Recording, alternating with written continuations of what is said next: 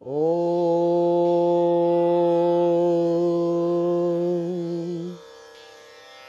Om.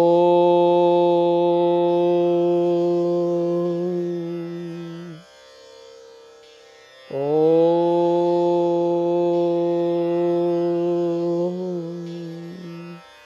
मन्मात Shri Jagannath मदगुरु Shri Jagat Guru मदात्मा सर्वभूतात्मा तस्मै श्रीगुरवे नमः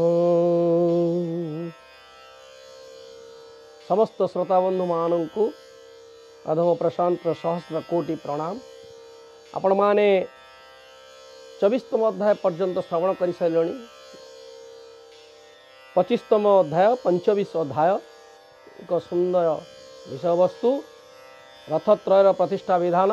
ଆପଣମାନଙ୍କ ସହିତ ମୋର ବନ୍ଧୁ ରାଜେନ୍ଦ୍ର ପ୍ରସାଦ ମହାପାତ୍ର ବି ଶ୍ରବଣ କରୁଛନ୍ତି। ତେବେ ଆସନ୍ତୁ ଶୁଣିବା ପଚିଶତମ ଅଧ୍ୟାୟ। ପ୍ରଭୁଙ୍କ ତିନି ରଥ କଥା ଯେ ରୂପେ ହୋଇଲା ପ୍ରତିଷ୍ଠା କରିଲେ ରାଜା ଇନ୍ଦ୍ର ଦ୍ୟୁମ୍ନ ପଞ୍ଚବିଶରେ ତା ବର୍ଣ୍ଣନ। ଜୈମିନ ଉବାଚ ପୁଣି କହନ୍ତି ଋଷି ରାଣ ଏବେ ହୋ ମୁନି ଗଣେ ଶୁଣ ଏହା କହନ୍ତେ ନରନାଥ ଶୁଣି ନାରଦ ଆନନ୍ଦିତ ଶାସ୍ତ୍ରକୁ ବିଚାର କରିଣ ଦେଲେ ସକଳ ବିବରଣ ପତ୍ରରେ କରିଣ ଉଲ୍ଲେଖ ପ୍ରେରିଲେ ରାଜାଙ୍କ ନିକଟ अत्र पाइण इन्द्रद्युम्न आमूल श्रवण करिण। पद्मनिधि कुदेले नेई। राजन कहिले बुझाइ हे पद्मनिधि मो आमना। सकल कर सम्पादना। प्रथमे पर्णशाला कर। तदन्ते हेव ब्रह्माङ्कर।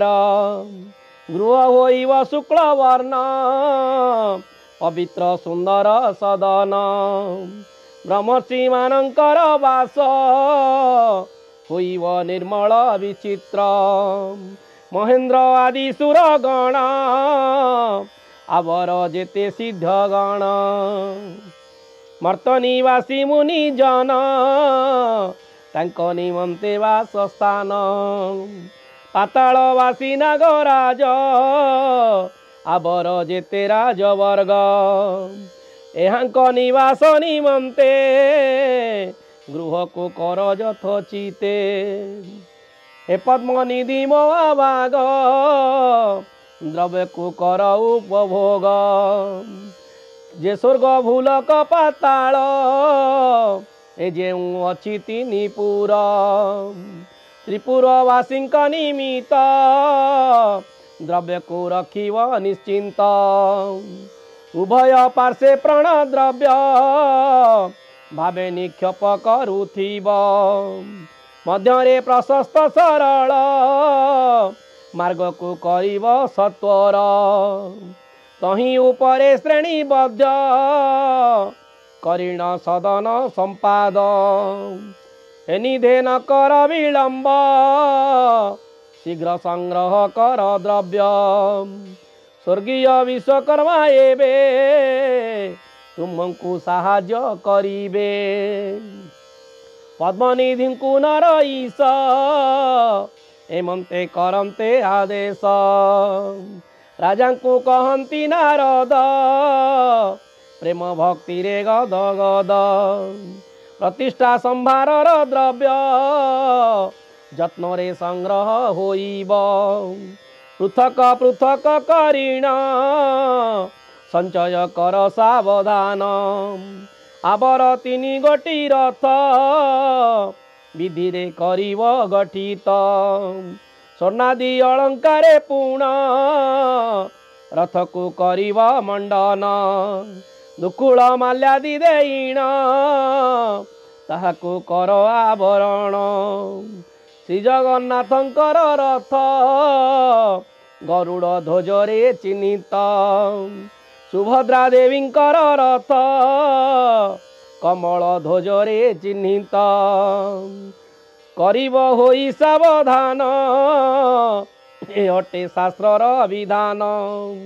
କରିବ ହୋଇ ସାବଧାନ ଏ ଅଟେ ଶାସ୍ତ୍ରର ବିଧାନ ହେ ନରପତି ଇନ୍ଦ୍ର ଦ୍ୟୁମ୍ନ ଯେ ପ୍ରଭୁ ଜଗତ ଆସନ ସେ ସ୍ୱୟଂ ଆସନ ବିଗ୍ରହ ଜଗତନାଥ ଜଗନ୍ମୟ ଯାହାଙ୍କ ନାମ ପ୍ରସଙ୍ଗରେ ଉଲ୍ଲେଖ କରିବ ବିଧିରେ ଯାହାଙ୍କ ଯାନ ପ୍ରସଙ୍ଗରେ ଉଲ୍ଲେଖ କରିବ ବିଧିରେ। ଯାହାଙ୍କ ନାମ ପ୍ରସଙ୍ଗରେ ଉଲ୍ଲେଖ କରିବ ବିଧିରେ ତାଙ୍କ ବ୍ୟତୀତ କେହି ଅନ୍ୟ ଆଧାର ନାହିଁ ବିଦ୍ୟମାନ। ସେ ହରି ଭକତ ବତ୍ସଳ ଆଦର୍ଶ ଜ୍ଞାନ ସୁନିର୍ମଳ ସେ ହରି ଭକତ ବତ୍ସଳ ଆଦର୍ଶ ଜ୍ଞାନ ସୁନିର୍ମଳ। ତହିଁରେ ଜଗତ ଦର୍ଶନ କରନ୍ତି ସ୍ୱୟଂ ଭଗବାନ। ତାହାଙ୍କ କଳ ତଳେ ପୁଣ ରହିଛି ନିର୍ମଳ ତର୍ପଣ।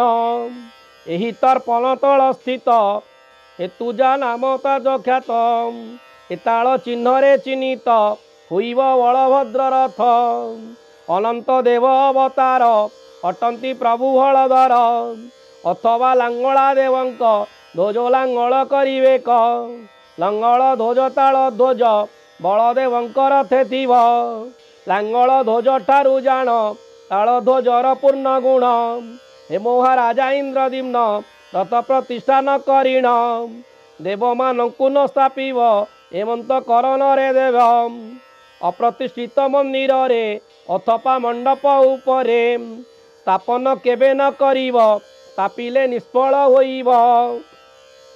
ଏଗେନି ପ୍ରଭୁଙ୍କର ରଥ ପ୍ରଥମେ କର ପ୍ରତିଷ୍ଠିତ।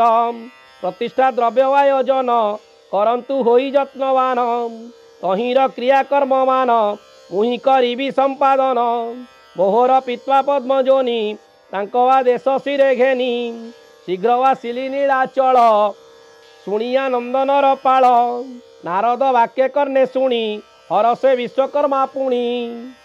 ପଦ୍ମନିଧିଙ୍କ ଦ୍ୱାରା ପୁଣ ଦ୍ରବ୍ୟାଦି କରି ସମ୍ପାଦନ।